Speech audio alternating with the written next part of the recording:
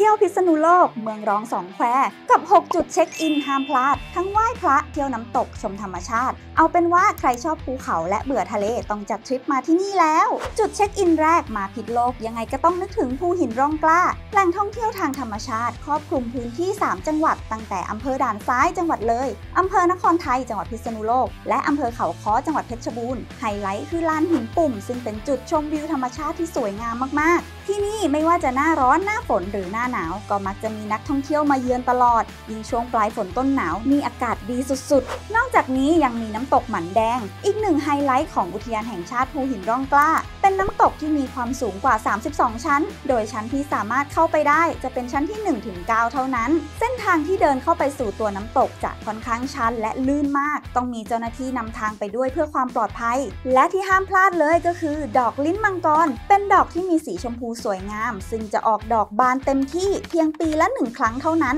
คือในช่วงเดือนสิงหาคมของทุกปี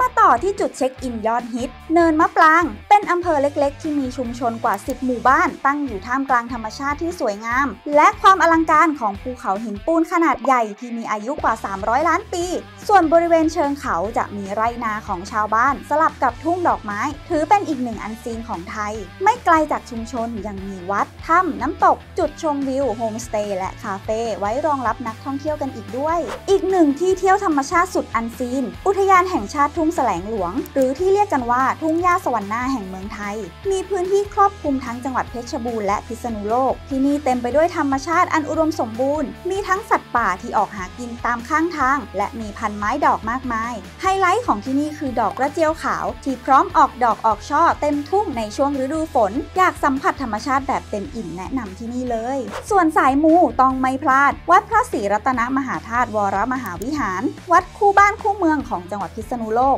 คนที่นี่เรียกติดปากกันว่าวัดใหญ่หรือวัดพระพุทธชินราช แน่นอนว่าเป็นที่ประดิษฐานของพระพุทธชินราช ปางมารวิชัยหล่อด้วยทองสำริดนอกจากนี้ยังมีพระปาง ซึ่งเป็นปูชนียสถานเก่าแก่ มีลักษณะเป็นเจดีย์ทรงฝักข้าวโพด เป็นศิลปะสมัยยุธยาตอนต้น ด้านหน้าเจดีย์มีพระอัฏฐารถ พระพุทธรูปยืนปางห้ามญาติ เชื่อกันว่าการได้มากราบไหว้ที่นี่ จะทำให้หายทุกข์หายโศกกันด้วยค่ะ ปิดท้ายกันที่วัดจันทร์ตะวันตกเป็นวัดเก่าแก่ที่มีการสันนิษฐานว่าอาจสร้างขึ้นมาพร้อมๆ กับการสร้างเมืองพิษณุโลกเลย โดดเด่นด้วยสถาปัตยกรรมอันวิจิตรงดงาม ทั้งมหาวิหารสมเด็จองค์ประถม สีทองอาราม และหลวงพ่อทองไหลมา พระพุทธรูปปางอุ้มบาทประทับยืนขนาดใหญ่ที่ประดิษฐานอยู่ด้านหน้า ถือเป็นสถานที่ศักดิ์สิทธิ์อีกแห่งหนึ่งที่คนพิษณุโลกและนักท่องเที่ยว นิยมมากราบไหว้สักการะกันค่ะ ถ้าชื่นชอบก็อย่าลืมกดแชร์ ติดตามเว็บไซต์ หรือแอปพลิเคชันบั b u g a b o o TV กันด้วยนะคะ จะได้ไม่พลาดคอนเทนต์ดีๆใน b u g a b o o